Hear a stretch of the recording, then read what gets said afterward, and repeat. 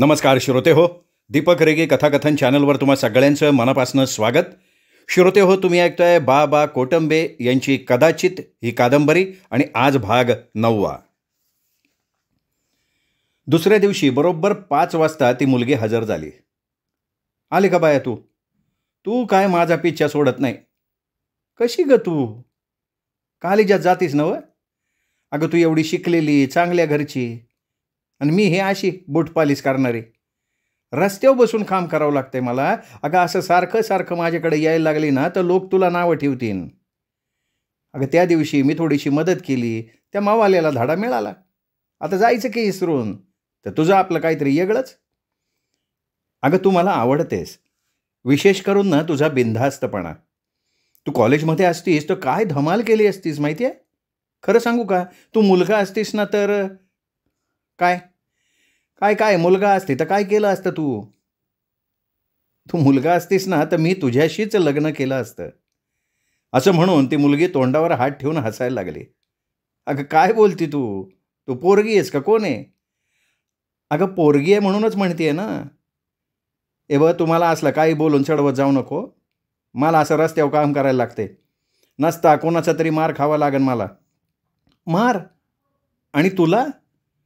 खरं सांगू का ताई? तुझं लग्न झालं आहे का नाही मला माहिती नाही पण जो तुझा नवरा असेल ना तो नशीबवानच असेल. गपे चावट कुठली? राधानं आपलं दुकान आवरलं पोतडी घेऊन गंगा मावशीकडे ठेवायला निघाली. राधा मालाच्या घरी आली तेव्हा मालाची आई त्यांचीच वाट पाहत बसली होती. ये ग ये. मला वाटलं होतं येतेस का नाही? अवी तुमची पोरगी सारखी माग लागली घरी चल घरी चल म्हणून.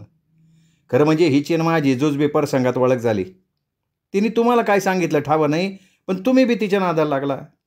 अहो तिकडं बाजारात आला असता तर कधी पण भेट झाली असती ना.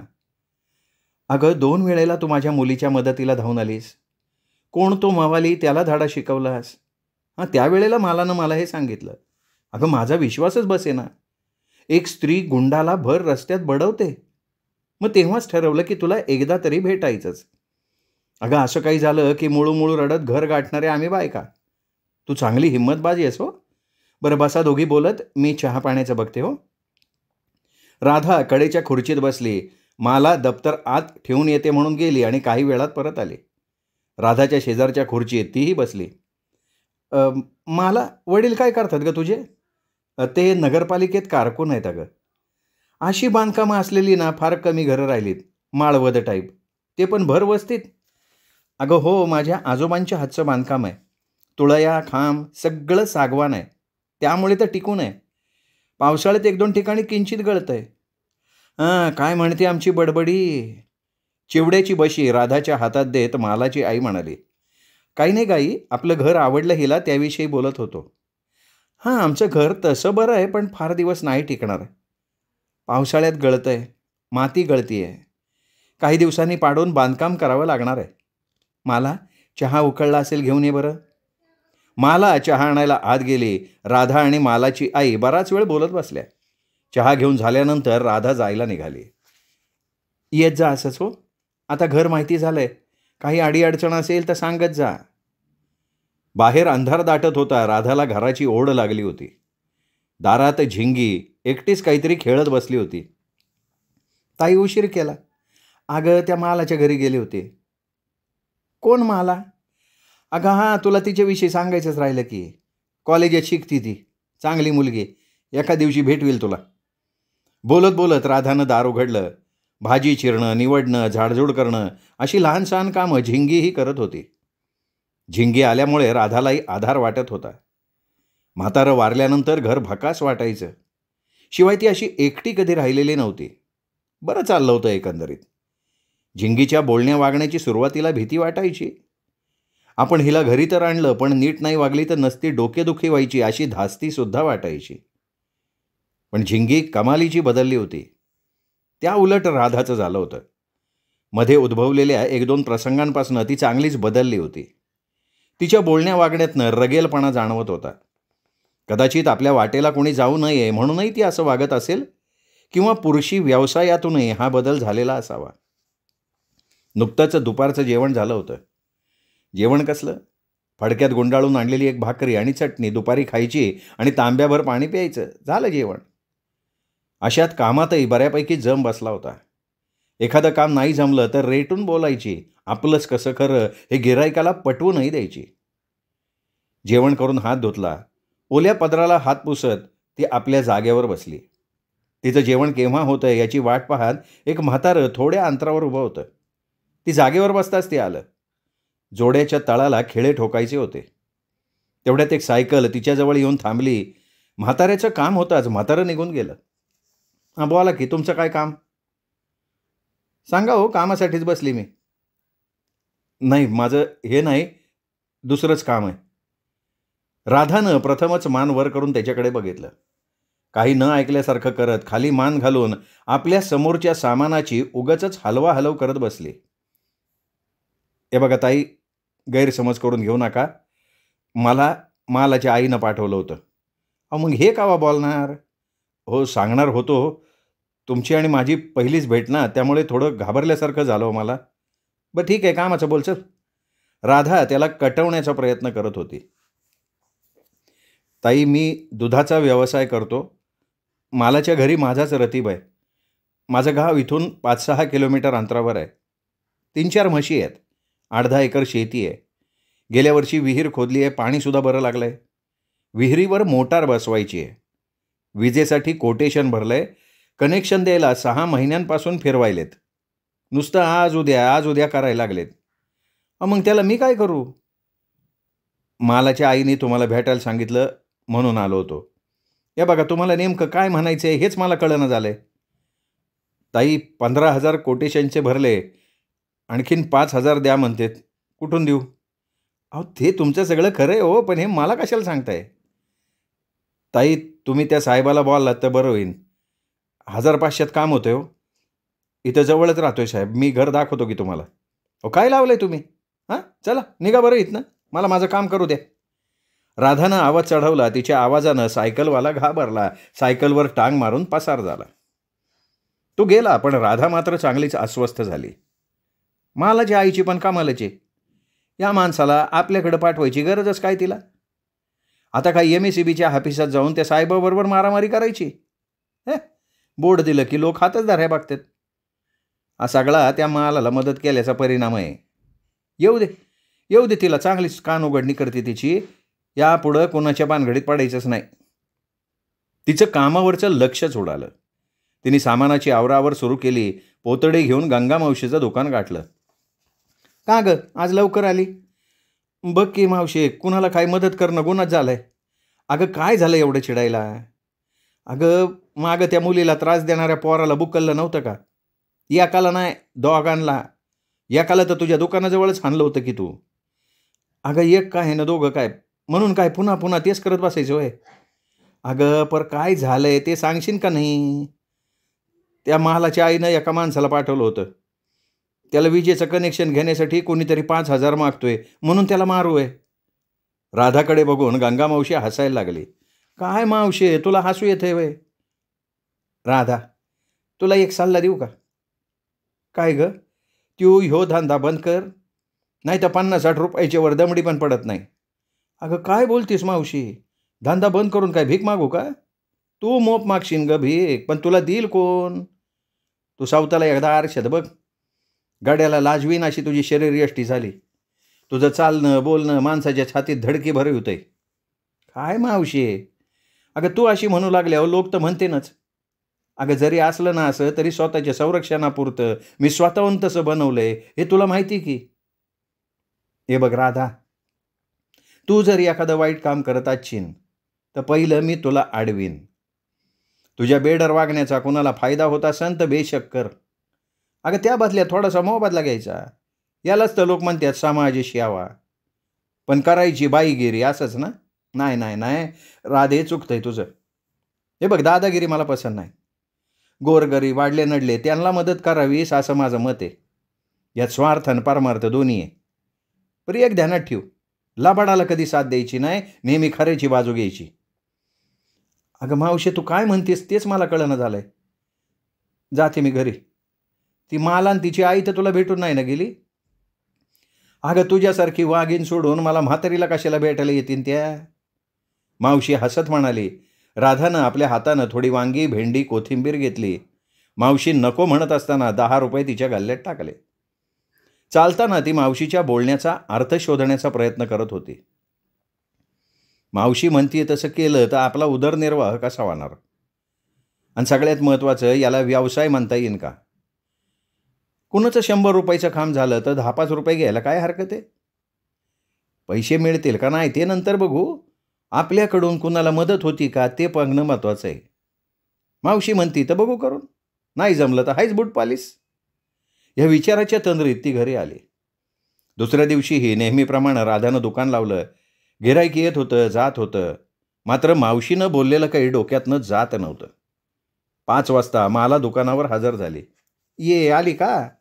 एखादं बार आले चुकल पण इकडची चक्कर चुकवत जाऊ नको तू. आणि काय का तुम्ही मायले की काय आहे त्या दूधवाल्याला मग ह्याकडं कशाला पाठवलं? अगं मी नाही आईनी पाठवलं. बरं मग तू आत्ता कशाला आली? कशाला म्हणजे काय? तुला भेटावं असं वाटलं? आले. अगं तुला किती वेळा सांगितलं तू कॉलेजात शिकणारी पोरगी असं रोज इथं येऊन बसणं बरं दिसत नाही. नशीब समज मी एकटी झाली आहे माझ्या मैत्रिणीसुद्धा तुला भेटायचं म्हणत होत्या मी त्यांना कट मारून आली आहे नाही नाही चूक तुझी नाही चूक माझीचे थोडीशी काय तुला मदत केली? अनगाळ्यातच पडली. अगं तू मुलगा असतीस ना तर तुझ्याबरोबर मी लग्न केलं असतं.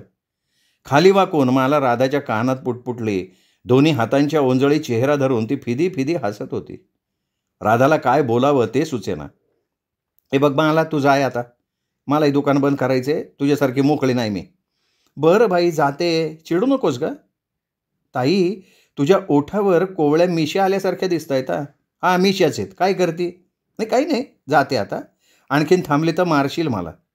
बरं त्या दूधवाल्याला पाठवू का? अंग असं. आली का नाही मूळ मुद्द्याव हो? ठीक आहे. होऊन दे तुझ्या मनासारखं. दे पाठवून. मला खांद्यावरची ओढणी सावरत चालायला लागली. ती दूर जाईपर्यंत राधा तिच्याकडे बघत होती. खरं म्हणजे राधाला ती आवडत होती. तिचा गोड आवाज वागण्यातला अल्लडपणा तिच्याशी बोलत बसावं असंही तिला वाटायचं. पण तिला रस्त्यावर थांबून बोलणं राधाला पटत नव्हतं. आपलं काय? आपण रस्त्यावरचेच आपल्याला कोण वाकडं लावणार आहे? पण ही हिला ओळखणारे बरेच लोक असू शकतात. ती इथे का थांबते असं तिला ओळखणाऱ्यांना वाटू शकतं किंवा आपणच तिला थांबून घेत असावं असंही त्यांना वाटू शकतं आणि केवळ याच कारणामुळे राधा तिला थांबू द्यायची नाही. दुसऱ्या दिवशी दूधवाला भीत राधाजवळ येऊन उभा ठाकला. तुम्ही बोलिवले म्हणून मालानं सांगितलं म्हणून आलो. अरे काल तुझं ना ऐकता तुझ्यावर रागवले. वाटलं काय म्हणतोय ते नीट ऐकून तरी घ्याय पाहिजे होतं म्हणून मालाला म्हणलं दे पाठवून. दूधवाल्यानं सायकल स्टँडला लावली. मीटरच्या कनेक्शनसाठी उगाच फिरवायले ताई. यांना पाच हजार कुठून देणार मी सांगा बरं. तुलाच मागायले की सगळ्यालाच मागतात अहो ताई सगळ्या कोणच घेतात मी दोन हजार देतो म्हणलं पण नाही म्हणतात म्हजी तू दोन हजार द्यायला तयार आहे. अहो काय करणार ताई? दिल्या घेतल्या बिगर कामच वाईना झालं आहे किती बी खेट्या मारा किती बी दिवस मारा त्यांना काय फरकच पडत नाही. केव्हा भेटल तुझा तो साहेब? आता येईलच बघा. साडेपाचला त्याचा हापी सुटतंय. मला दाखव आणि तुझा दोन हजार आणलेस का? हे घ्या की जवळच आहेत. त्यो बघा तू येतोय बघा. गुलाबी शर्ट आणि पांढरी पॅन्ट. ठीक आहे तू त्याच्याकडे बघू नको. साहेब राधाच्या समोरून पुढे निघून गेला. राधानं त्याला नीट पाहून घेतलं.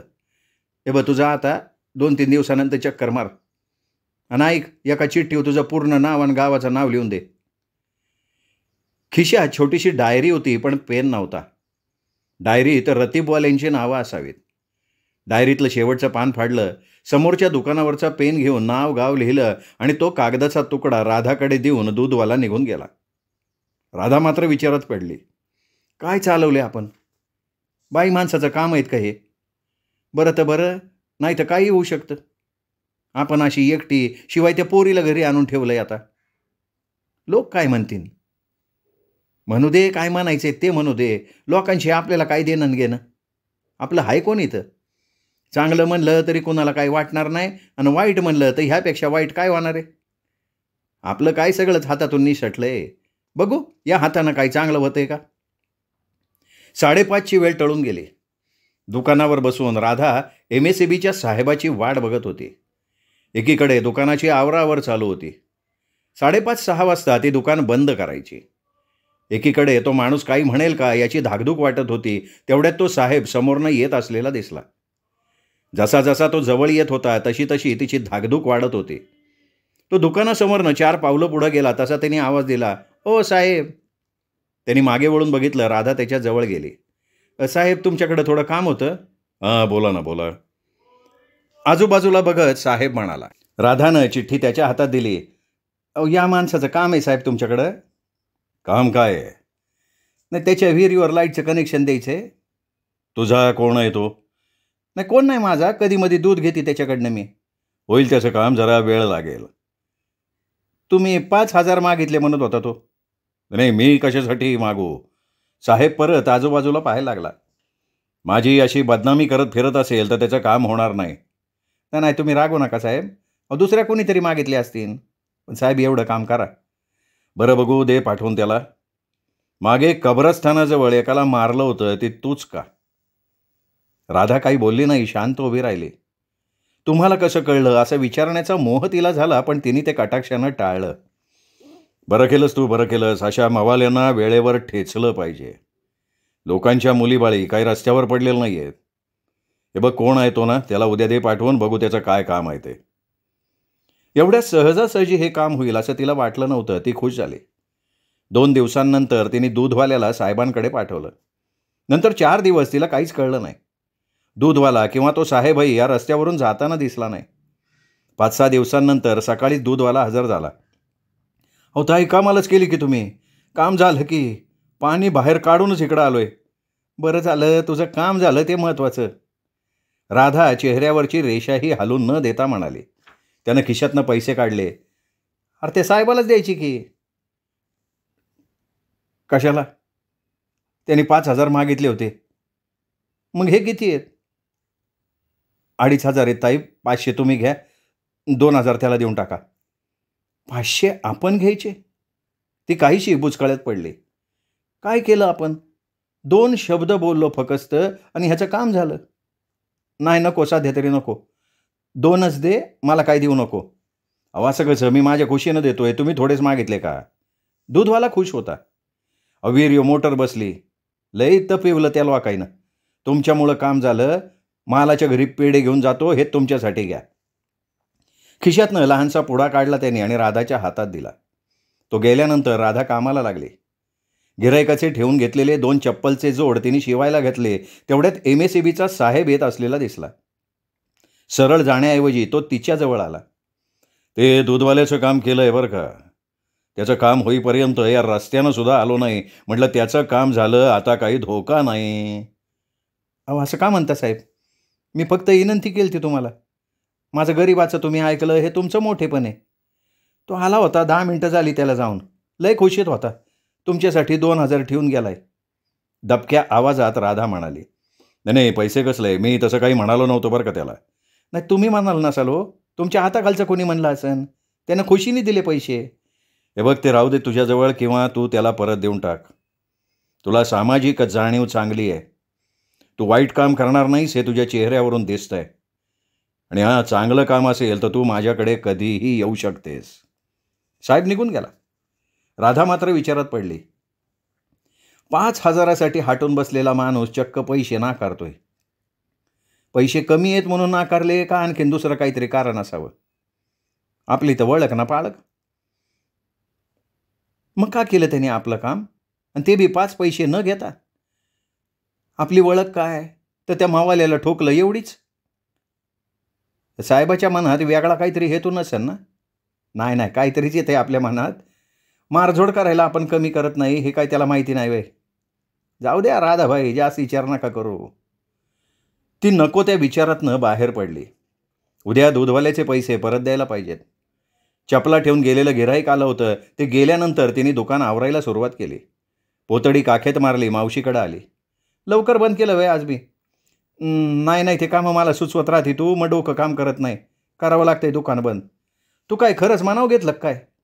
मावशी राधाच्या दंडाला धरून हसत म्हणाली. नुसतं मानाव नाही घेतलं. तर एक जण पैसे हातावर टिकून निघून बी गेलाय. राधानं नोटांचं पुडकं मावशीला दाखवलं. मावशी आश्चर्यानं तिच्याकडे बघत राहिली. दूधवाल्याचं काम होतं ते झालं. त्या खुशीत काही पैसे ठेवून गेला तो. आता तो समोरचा माणूस पैसे घ्यायला तयार नाही. देऊन टाकते परत याचे त्याला. हां देऊन टाक देऊन टाक. एक लक्षात ठेव काम न करता कोणाचे पाच पैसे घ्यायचे नाहीत. कोणी नावं ठेवावं किंवा वाकड्या नजरेनं बघावं असं काही करायचं नाही. तुझ्या हातानं तू संसार सुख ठोकरलेस जीव लावावा माया लावावी असं सध्या तरी तुझ्याजवळ कोणी नाही. मी न झिंगी राहिलो. आम्ही दोघी काय शेवटी पारख्याच तुला थोडं वाईट वाटेल पण हेच खरं आहे पोटातून माया लावायला रक्ताचं नातं असावं लागतंय पोरी. माझ्यापुरतं सांगायचं झालं तर माझ्या जीवा जीव आहे तवरुक तुला मी काय अंतर देणार नाही. कर्मधर्मानं झिंगीला कोणी मिळाला तर तिची हात पिवळे करून टाक. जळता इंगोळे पदरात घेऊन बसू नको. सगळेच काही राधीसारख्या निघत नाहीत ग. आता एक मनात खुनगाड बांधून ठेव. तुझ्यासोबत आता तुझं काम असणार आहे. काही चांगलं केलं तर चार लोक नावं घेतील असं काहीतरी कर. कुणाला लुबाडायचं नाही आणि फुकट बी करायचं नाही. नसता उपाशी मारायची पाळी येईन. तू काम बिनधास कर. काय गाड्यांनीच असल्या कामाचा ठेका नाही घेतला हे बी लोकांना कळू दे. गंगा मावशीच्या पाठिंब्यानं राधाच्या अंगात हत्तीचं बळ आलं. खरं तर म्हातारं वारल्यानंतर ती चांगली खचली होती. गंगा मावशीनं आधार दिला म्हणून ती शहरात टिकून होती. सकाळपासनं राधा दूधवाल्याची वाट बघत होती. एम एस सी बीच्या साहेबांनी पैसे घेतले नाही त्यामुळे त्याचे पैसे त्याला परत देणं भाग होतं. सावकाश दुपारनंतर तो आला. ते सुद्धा कामाची भली मोठी यादी घेऊन आला. रेशन कार्डापासनं ते अपंग निराधार विधवा यांच्या मानधनांपर्यंतची कामं घेऊन आला. त्याला बघताच राधा म्हणाली काय आहे? कुठे आहे तुझा ठाव ठिकाणा? नाही आलो नाही. पाण्याची सोय झाल्यामुळे शेतात कोणचं पीक घ्यावं का माळवं करावं याचे विचारत होतो.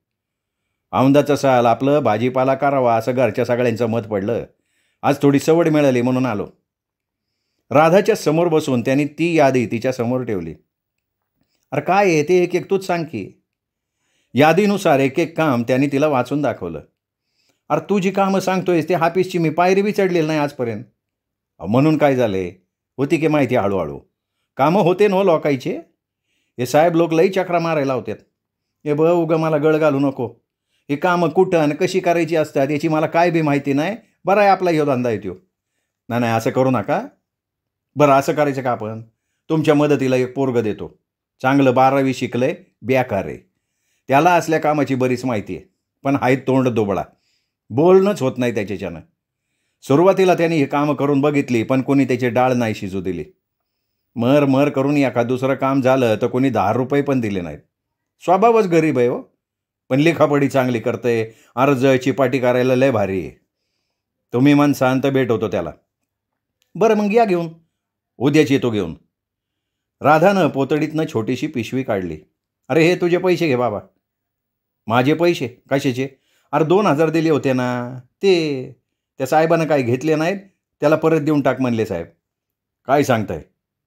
पैसे घेतले नाहीत? अहो असं कसं होईन? पैशासाठी सहा महिने तपवलं मला त्या माणसानं. नाही र माणूस चांगला आहे तो. उलट आणखीन काही काम असेल तर सांग म्हणला. आईला या साहेब लोकायचं काही सांगता येत नाही बरं का. कधी काय बोलतील आणि कधी शब्द फिरवतील. जाऊ द्या.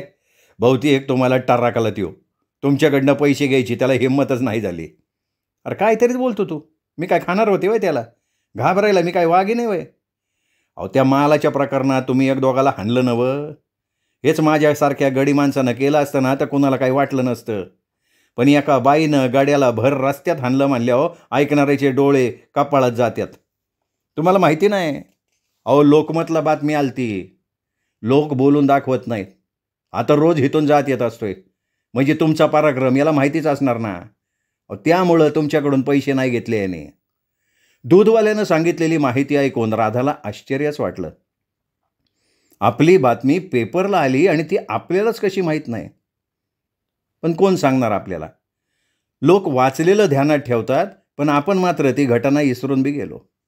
बरं ताई मी निघतो उद्या त्या पोराला घेऊन येतो. हा ये पर ह्या आधी दोन हजार घे रे बाबा. राधानं पैसे त्याच्या हातावर ठेवले दूधवाला सायकलवर टांग मारून निघूनही गेला. श्रोते हो हा होता भाग नववा भाग दहावा उद्या तोपर्यंत. नमस्कार मित्र.